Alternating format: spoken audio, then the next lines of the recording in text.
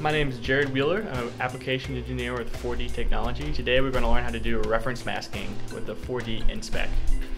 So right now I have a cylinder with a big uh, dig down the side of it. And uh, it's on the screen. You can take a measurement with only tilt removed. And here's the 3D view. And you can see when I drag the cursors over the edge, and uh, with the graph down here I'm seeing is the red line on the 3D graph. So let's call it the x-axis. And um, the total depth is a little over a millimeter, one and 70 microns. But um, you can also see the edge is not at the zero level, not at zero. So if you go over to the feature analysis, you can see, and I have the minimum pit depth of 100, minimum peak height of 100 microns. You can see that it's not recording the uh, dig correctly. It's recording as only almost 800 microns. And it's recording the edges as peaks. And the reason it does this is because it takes the overall data set and then finds an average point for the zero plane. And uh, what we want to do with the reference masking is set the zero plane to whatever you're using as a nominal reference surface which you can define, which is the purpose of the software. So what we can do is open reference masking right here. And uh, we can select pass uh, outside and auto apply for one reference mask. Auto apply is actually more ideal. You can do over here, and then it applies. You can use circular or square, and then check the green check mark in the upper right. And now you have to recalculate the surface.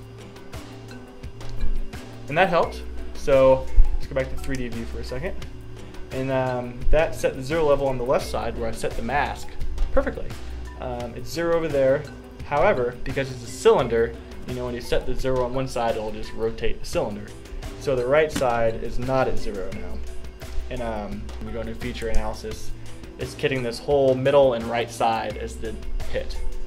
Uh, so what we can do is go back into reference masking and uh, uncheck auto apply if you're doing multiple masks. You do not want to have that checked.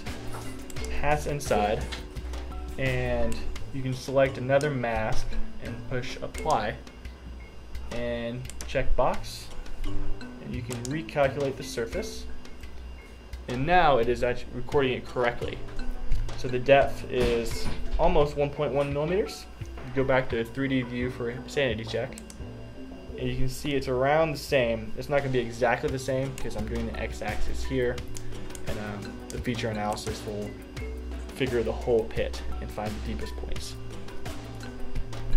In summary, uh, we have looked at the reference masking, and um, the pit covered a good chunk of the field of view, and that set the zero level um, as an average over the whole field of data. Uh, reference masking allows you to set the zero level at the nominal surface um, as you define it.